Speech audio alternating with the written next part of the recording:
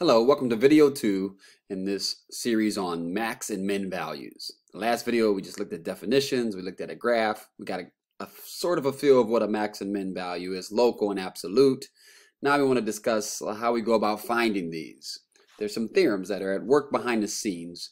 Let's start with the extreme value theorem. Here's what it says. As long as your function is continuous on an interval that is closed, then you're sure that the function will attain its absolute maximum value somewhere inside the interval or on the endpoints. There's going to be some value c that's inside of our AB interval, maybe on the endpoints, that the f of c will be the absolute maximum value and the f of d will be the absolute minimum value. It will attain its absolute maximum and its absolute minimum as long as the interval is closed and the function is continuous on that interval. The issue with the, this theorem is that it is an existence theorem. It doesn't tell us how to find it.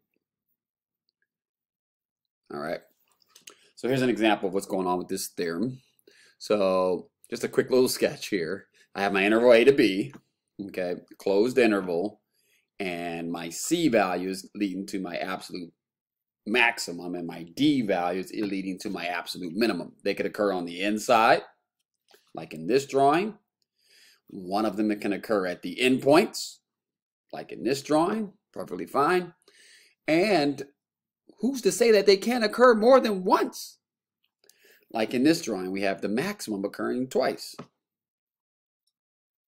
The theorem just says that you're guaranteed that they're going to occur at least once.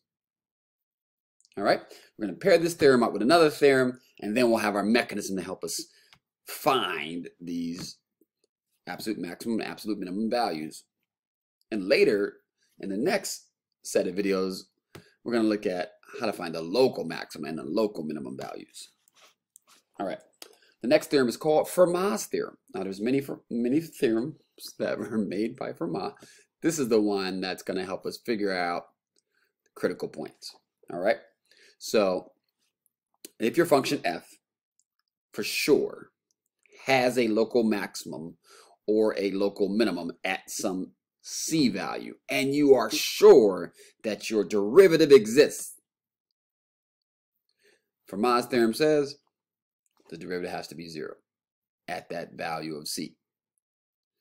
If we go back to one of our previous slides, we saw some horizontal tangent lines, and then we saw one sharp point where the derivative didn't even exist.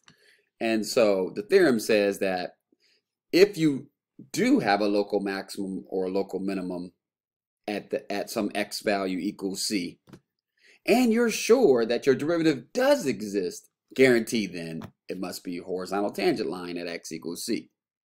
The f prime of c equals zero. The issue with this theorem, like with a lot of theorems, we try to think, well, okay, it's an if-then statement. That's a conditional. If your hypothesis is true, then you have your conclusion. Most people try to run things backwards and say, what about going the other way? If your conclusion is true, does it can you lead to the hypothesis? And here, that's not the case. Okay, just because your derivative is zero doesn't guarantee that you're going to have an absolute maximum or an absolute minimum value. It opens the door for it, but it's not a guarantee. Okay if your derivative is equal to zero, you can't automatically conclude that your function has a local max or a local minimum value. Well, we got to see an example, right? Our favorite example, y equals x cubed. It's looking at the origin like it wants to reach a maximum, but actually if you look at it from the other side, it wants to reach a minimum. And so it has all the qualities though, right? The function is x cubed, its derivative is 3x squared, and when you plug x equals zero into that, you get a zero. So this is a function who has a zero derivative. But x equals zero is the place that where you have the zero derivative and it's not a place where you have a local maximum nor a local minimum. So sort of in between. Okay. All right. So, but finding the places where your derivative equals zero is going to open the door. Okay. So Fermat's theorem suggests that if you're going to be looking for these maximum and minimums, the locals, um, then you should start with the places where your derivative is equal to zero. Okay, so you have to do some algebra to solve or some trig or something. Take a derivative, set it equal to zero. Start there, but then also you need to seek out places where your derivative doesn't exist at. Okay, the combination of these x values are called your critical numbers. Some people might use the word critical points instead. Okay.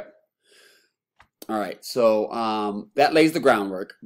Extreme value theorem together with Fermat's theorem. Extreme value theorem was geared towards the absolute maximum, absolute minimum. Okay. Fermat's theorem is geared towards the local maximum, local minimum. And so um, in our next example, we'll just look at finding critical points. And then we'll look at what do you need to do to find the absolute maximum or the absolute minimum value. According to extreme value theorem, as long as your interval is closed, that's enough. Okay. But um, let's go ahead and end this video for now. Thank you for watching. My name is Nakia Rimmer. Uh, please like and subscribe, comment down below. And uh, on to the next video. The link will be in the description. See ya.